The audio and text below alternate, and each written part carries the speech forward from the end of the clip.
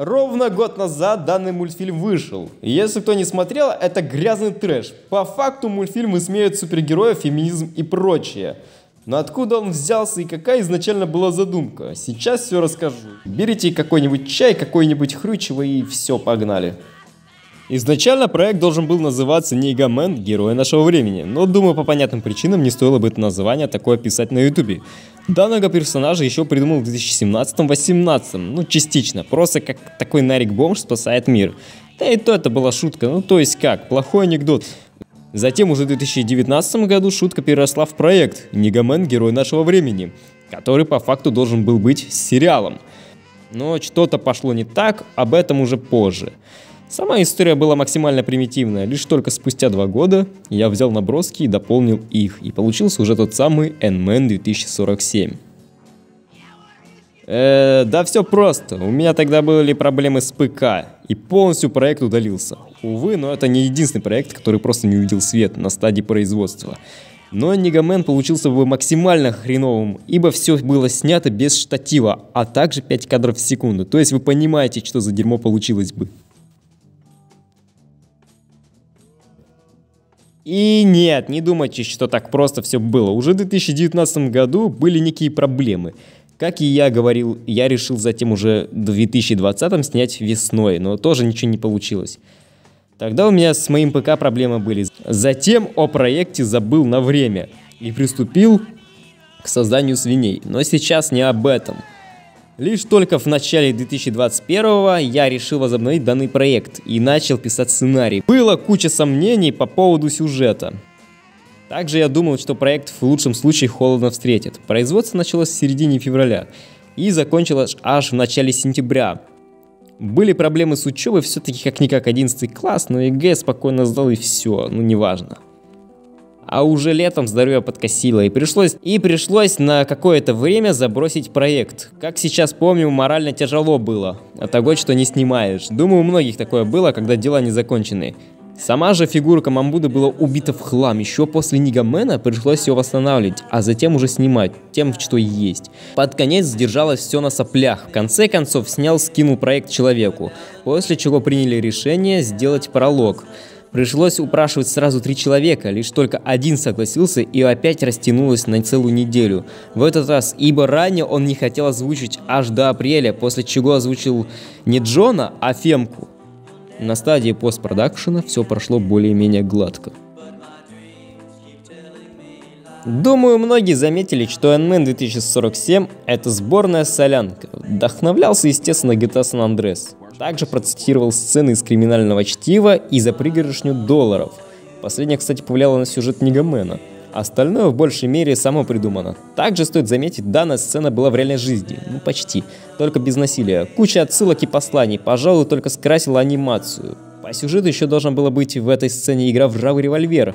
Это, что кто не знает, отложенный мой проект на какое-то время. Но не стал этого делать, ибо оно просто портило атмосферу. Продолжение в любом случае будет, на мой взгляд тут есть потенциал, да и минимальный круг фанатов. Кстати, насчет фанатов, парень, который ждал с 2019 года, огромное тебе спасибо, ты лучше, благодаря тебе просто Энмен вышел, потому что я надеялся, что ты его дождешься и увидишь. Тебе огромное спасибо. Так вот, само продолжение, надеюсь, выйдет, но проблемы по поводу бюджета и количества фигурок Около 92 персонажей, это, естественно, массовка. Возможно, даже сценарий перепишу. Но вторая серия будет намного нудной. Хотя будут объяснения, что и как произошло, и пока что не планирую забрасывать данный проект. Изначально планировалось, что это одна вселенная, но просто другое название, но позже подумал и решил разделить на разные вселенные со своими особенностями но все еще не прописал лор Нигамена, поэтому скажу лишь то, что там по стилистике больше вестерн, в Энмене же это лампу панк, присутствие ретро-футуризма в культуре. Также на разных приборах присутствуют лампы в качестве декорации и функциональности. Также названия персонажа отличаются. Энмен это во вселенной Нигамена, а Нигамен это во вселенной Энмен 2047. Думаю, вы поняли, специально такая вот путаница.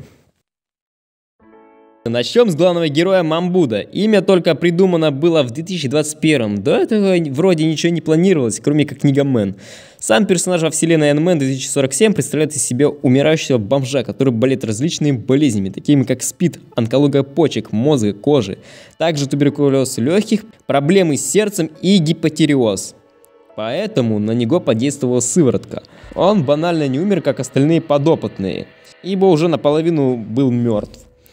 Благодаря этому он фактически обрел бессмертие. Родители Мамбуды. Мать из бедной семьи, нищего района. Ее родители были также афроамериканцы, но ее отец был сбит машиной еще в середине 90-х.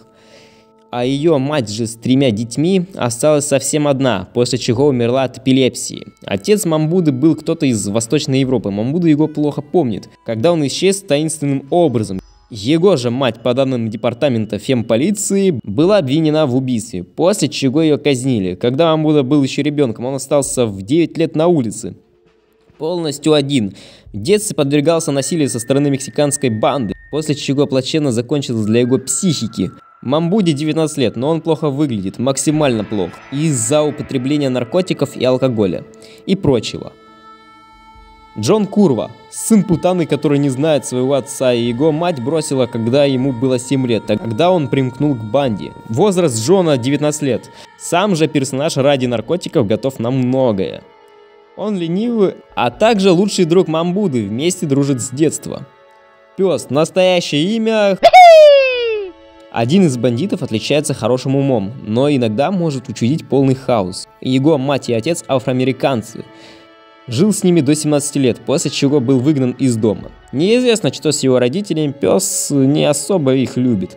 Псу 21 год, сам же вступил в банду в возрасте 12 лет. Лучший друг Косова, сам же он предан банде.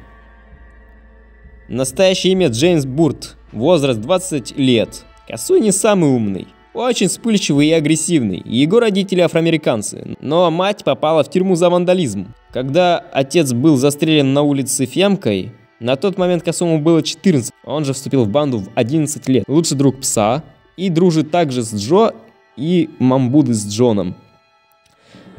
Джо. Персонаж второго плана. Возраст 27, персонажа особо я не прописывал, поэтому ничего не скажу. Рамон, персонаж из Нигамена, который был взят из фильма на несколько долларов больше. Сам же в Энмене 2047 полностью переделан. В возрасте 40 лет. В банду он с 10 лет вступил. И, кстати, он лидер банды. Предпочитает культурно выражаться, Рамон изнасиловал Косова, после чего Косой выпустил в голову всю обойму. Эль Ясик – это по факту локальная шутка, которая переросла в персонажа для Нигамена, а затем персонажа для Энмена 2047.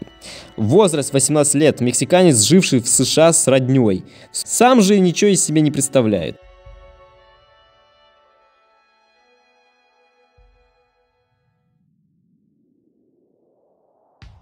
Endman 2047 Живой кошмар. Бонус для видео. Данная анимация вышла на Хэллоуин, но полностью не закончена из-за малого количества просмотров еще кое-каких обстоятельств. Сама идея была взята из Red Dead Redemption Undead Nightmare. Действие разворачивается в альтернативной реальности. Мамбуна и его друзья выбрались через другую дверь дома. После направления полицейских. И после смогли выжить. Что и как, думаю, закончу когда-нибудь. Данный проект должен был выйти гораздо раньше, но в силу трудностей получилось другое. Получилась мешанина, которую оценила больше, чем прошлый проект War, и что странно, меньше негативных отзывов у Энмена. Сам же, честно скажу, не считаю, что этот э, проект для меня какой-то важный. Но рад, что трэш вышел, такой же, как я и планировал.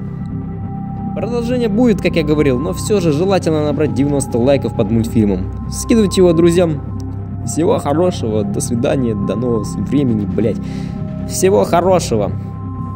Всего плохого, как Бэткомедиан, блядь, говорит.